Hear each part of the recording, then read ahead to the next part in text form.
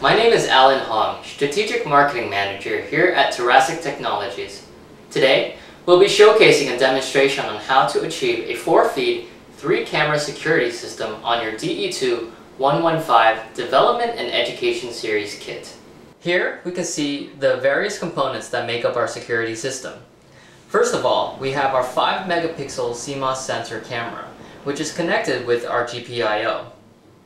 Next, we have our HSMC to GPIO interfacing daughter card, which allows two more cameras to be connected into one port. Third, we have our DVD player, which inputs information through our video in. And lastly, our DE2115 board, which is powered by an Altera Cyclone 4 FPGA. Now let's simply describe the operation of this demonstration. Here we have our three camera input to the FPGA, as well as our video signal input. After some processing, the combined feed is then sent out through our digital to analog converter to our external monitor.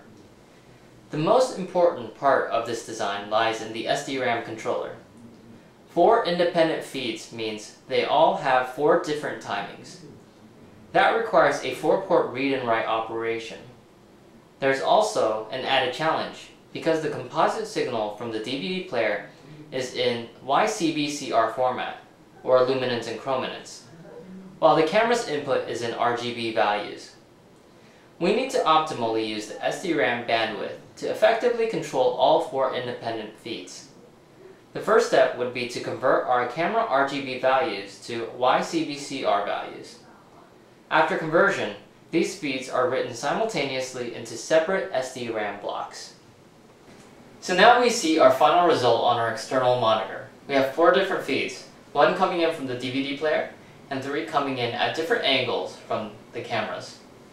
Now we also added a few extra features with our infrared remote.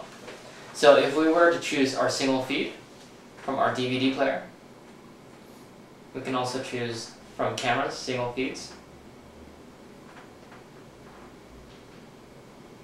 and we can also choose to zoom in and we can also adjust our exposure higher and lower.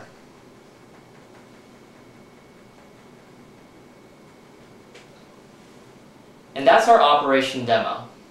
So now you have seen how to achieve a security system design using our DE2 115 development kit.